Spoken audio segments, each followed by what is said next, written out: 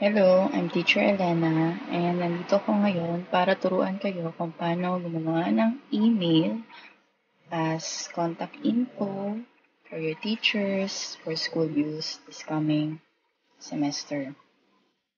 So number one is choose an email provider.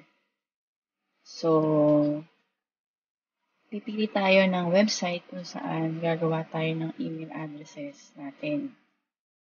So, most um, common na ginagamit is Yahoo or Gmail. Pero, mas preferred ko is Gmail. So, bakit Gmail? Kasi yung Gmail account or yung Gmail address na gagawin niyo, pwede niyo magamit once na yung teacher ninyo is gumamit ng Google Classroom. And at the same time, meron pa itong kasamang Google Drive. So, yung Google Drive ay isang halimbawa ng Google uh, Cloud Storage. So, etong si Gmail, Google Classroom, and Google Drive, magkakamag-anak sila under ng Google Apps. So, once na meron ka ng Gmail account, pwede ka nang gumamit ng Google Classroom and Google Drive. Number two, create a formal address. So, bakit formal address? Di, syempre, dahil gagamitin natin ito sa school. So, wag na natin gamitin yung mga email addresses na prettyme at gmail.com or pogiako at yahoo.com. So tip is to use your surname followed by the initials of your first name and middle name. You can add the initials of your school and year you enroll.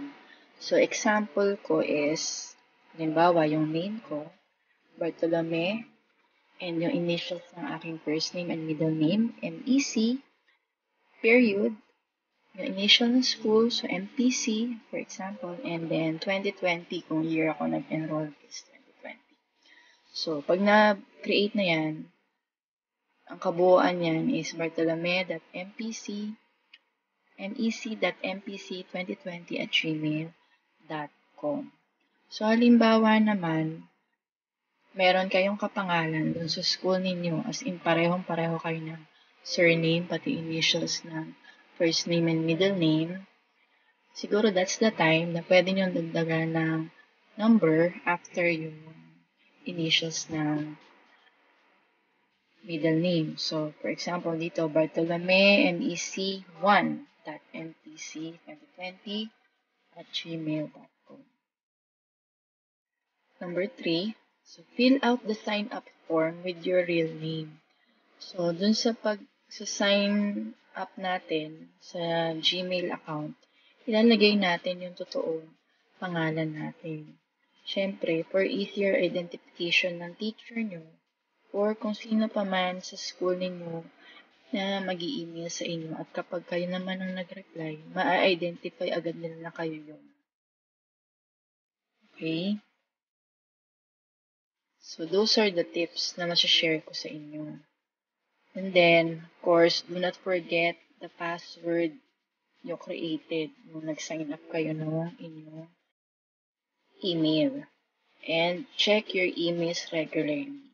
Kasi napansin ko na most students na nag-enroll dun sa school, nakalimutan na nila yung kanilang password. So, siguro, yung mga email addresses na yun, ginamit lang nila just to create a Facebook account at never nilang chinek yung email or ginamit yung email. So, ngayon, kasi isa na talaga siya sa mga main contact infos na gagamitin natin sa school. Kaya dapat alam natin yung password at mag-check tayo lagi sa ating emails.